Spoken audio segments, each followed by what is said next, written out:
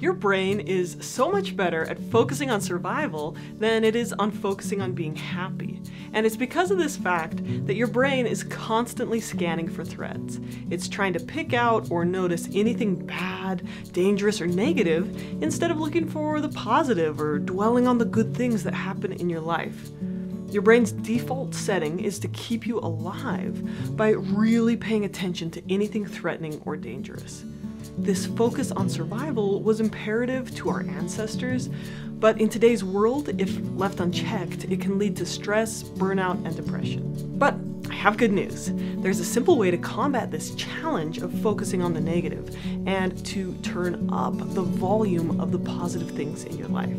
So stick around because in this video I'll teach you how to fight burnout and feel happier. It takes just two minutes a day, and thanks to our sponsor, Take Two Minutes, it's easier than ever to get it done.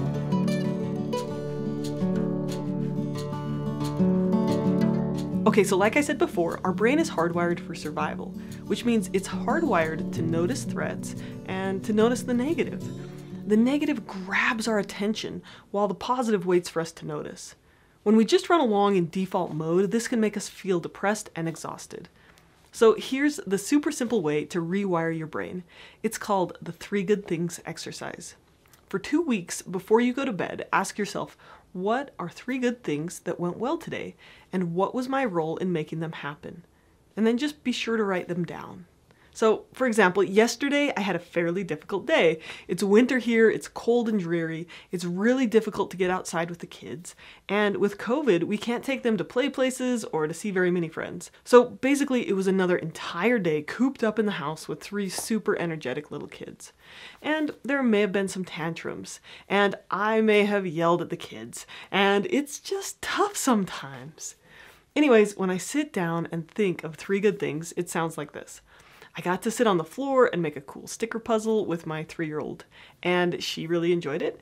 Plus, she was practicing her numbers and she was being quiet during church, so that was really nice bonding time with her. Number two is I got to make earrings with my six year old, and it's really fun to make things with her, especially without the two little kids.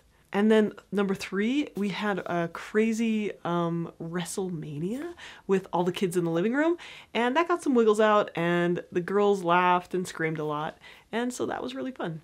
And that's it, that's all there is to it. And when I do it, I feel better. And the amazing result is that research shows that within four to five days, reflecting on the positive leads to noticing more positive.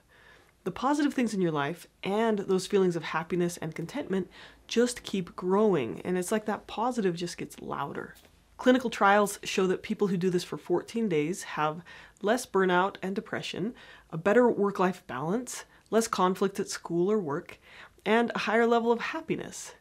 And the really cool thing is that the results from those 14 days can last for six months or more. So this exercise for just two weeks can impact you for almost half a year or more. And it just takes two minutes a day. So how cool is that, right? Now, I think the biggest barrier to doing an activity like this is that it's easy to forget to do it, but that's where Take Two Minutes comes in. What they do is they send you a text message every day at the time you choose.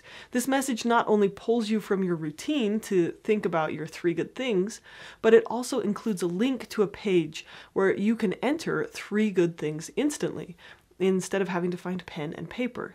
And then once you complete your entries, they'll store your answers in your personal private journal, which you can easily access at any time to review and reflect on. It's super easy. Seriously though, this activity is so powerful and Take Two makes it so easy to do it.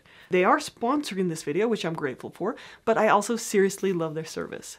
You can find them by texting join to this number below or by visiting take2minutes.org.